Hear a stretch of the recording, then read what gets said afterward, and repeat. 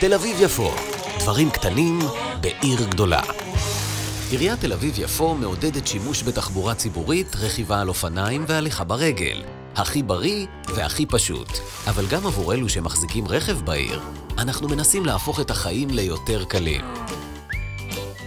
אם אתם תושבי העיר, אתם זכאים לקבל תו חנייה. התו יונפק תוך שלושה ימי עבודה מרגע אישור הבקשה, ויגיע אליכם עם שליח ללא תשלום עד הבית. יש ברשותכם תו? במשך היום אתם יכולים לחנות בחינם בכל מקום חנייה מוסדר.